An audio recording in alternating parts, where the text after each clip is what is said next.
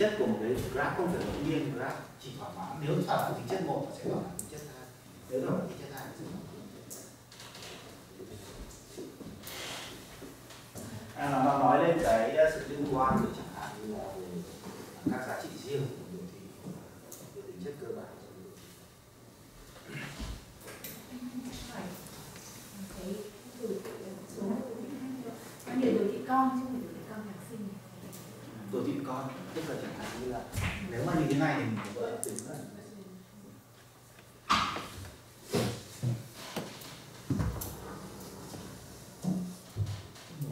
thì những cái đồ thị mà thỏa mãn những tính chất này gọi là siêu đồ random graph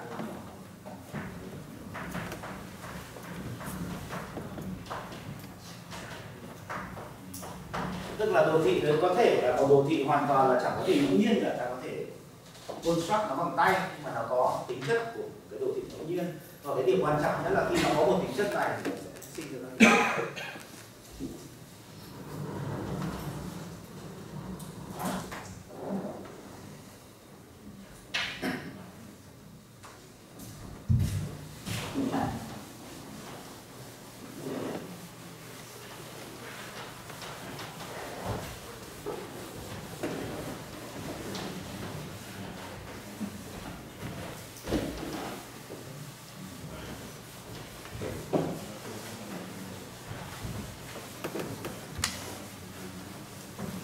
một cái ví dụ à, rất là nổi tiếng là đồ thị Bailey.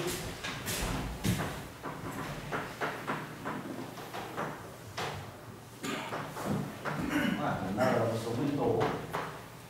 Phần lớn các loại đồ thị nổi tiếng đều có liên quan đến số học. À, n là một số nguyên tố và ta sẽ đối, á, ta tưởng tượng là một hai n là các điểm này là modulo n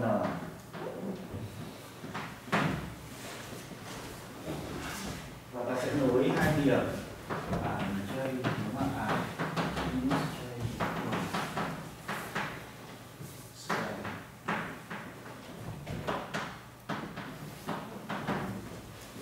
chơi số nguyên tố sẽ là cái dạng là ba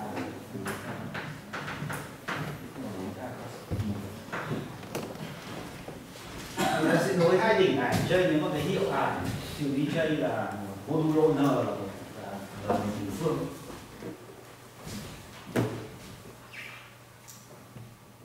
Thì muốn chứng minh cái đồ thị này là một cái đồ thị siêu đồ random ở nghĩa này là tương đối khó với nhiều à, nó có rất nhiều bài toán chi tiết trong nó chẳng hạn như là mình phải dùng những cái à, định lý của vây về về tổng xoay thế để kết thúc cái bài nói hôm nay tôi dùng mà xin nói về thêm một cái về ứng dụng của cái khái niệm này. Cái khái niệm này rất quan trọng. Tức là nó ở đây là khái niệm về trên đồ thị cho ta có cái đồ thị. Và nó có những cái tính chất giống của một cái đồ thị. Là à, ngẫu nhiên thì tính chất nọ nó sẽ liên quan đến chất kia. Ta có thể hoàn toàn à, à, định nghĩa cái cái cái, cái khái niệm à, gọi là cái này siêu đồ random này. À, trên những cái vật thể khác có thể là không phải là đồ thị nữa mà có thể là một dãy số. Được một khái niệm rộng hơn.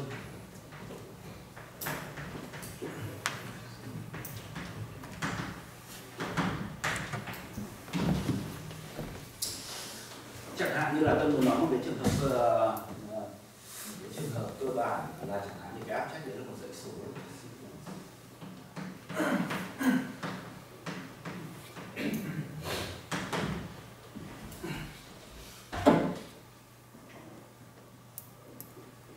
thì bây giờ chẳng hạn ta có một dãy số. Nhiên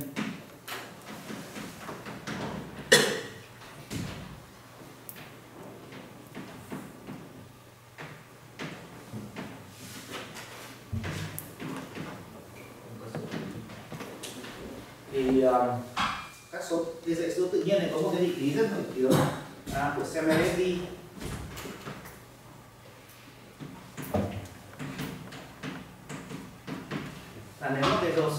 dãy số tự nhiên này mà nó là à, khá là đậm đặc thì nó sẽ chứa những cái uh, arithmetic progression. Tức là sao có dãy số này dãy số a từ giữa a n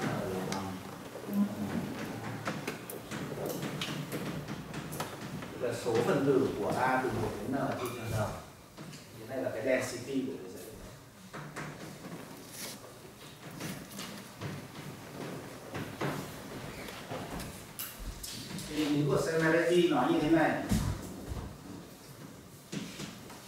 là ta fix đây.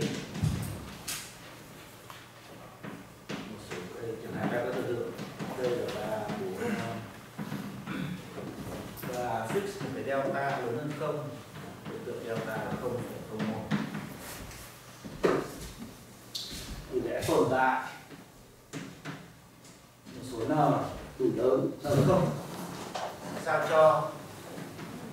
Với ngọn n lớn hơn? Bằng được không? À, với ngọn tập a sao cho là với ngọn tập a ở trong cái tập n và a có nhiều hơn là delta n phần tư tức là cái độ vận tải của nó ít nhất là delta. Thì nó sẽ chứa một cái dãy uh, à, arithmetic progression có độ dài làm ra.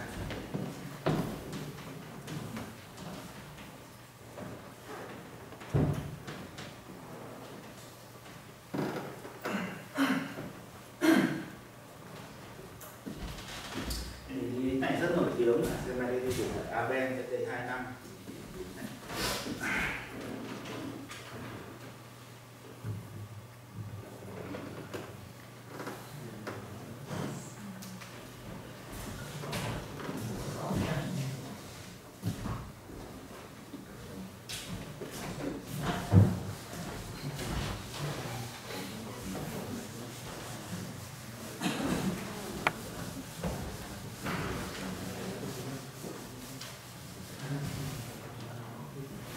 Ờ, thì sau khi chứng minh định lý này thì sẽ có nhiều cái version của tình lý này nữa tức là ta có thể chứng minh tình lý này khi mà và khi ta mà không nhìn thấy cái dãy cái dãy số này có thể là một dãy ngẫu nhiên à, hơn là cái dãy số lúc đầu chẳng hạn như là ta có thể à,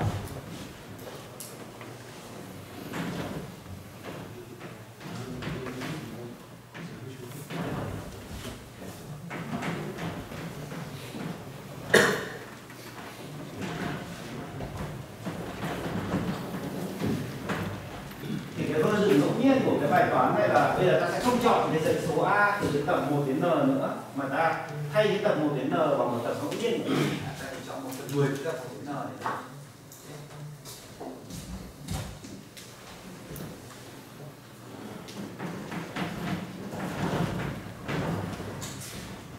và bây giờ ta chọn a là một cái tập của cái tập ngẫu nhiên này và cái density của nó vẫn là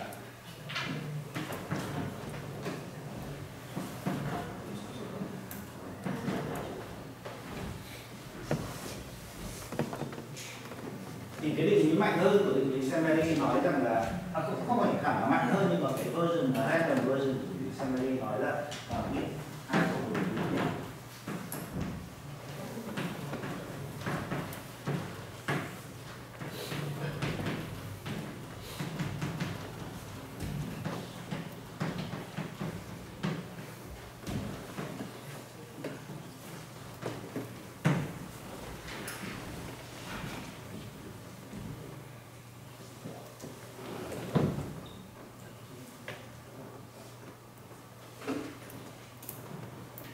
mà trong khi cái chứng minh cái đêm thế này được chứng minh bởi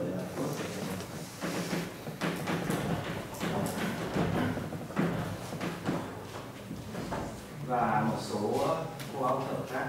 Thì khi cái chứng minh định lý này thì cái alpha này ta có thể rất nhỏ nhưng không cần phải là một hàm số ta có thể để alpha là ờ, một trừ trừ c một chỉ trừ một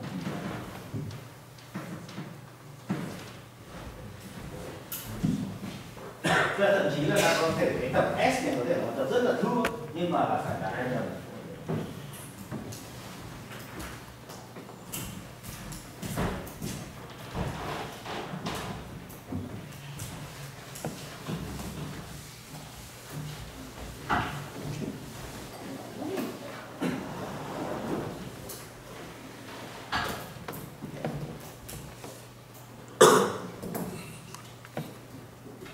thì cái bước tiến quan trọng nhất à, về cái bài toán này trong vòng một số năm gần đây là à, nó được uh, motivate bởi cái khái niệm siêu đồ random ở trong lý thuyết đồ thị. Là bây giờ nếu các anh cái random còn siêu đồ random.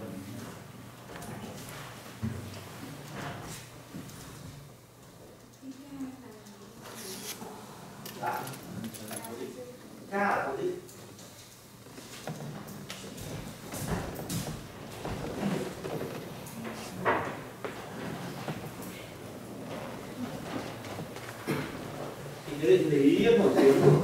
Green thực ra là chứng minh này, nếu mà cái họ tìm ra được một cái định nghĩa của cái siêu đồ random này, gần giống như những cái định nghĩa ở trên này, tức là cái định nghĩa siêu đồ của random một cái là một cái tính chất của cái dãy random.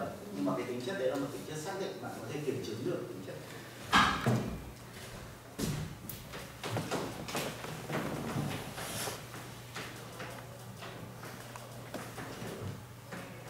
Đó, chứng minh là nếu mà S không phải hoàn toàn là random thì nghĩa kia. Mà là nghĩa siêu đồ random. Và tất nhiên là cái cái định nghĩa của siêu đồ random này thì mình sẽ tìm đúng cái định nghĩa của nó. Với the proper.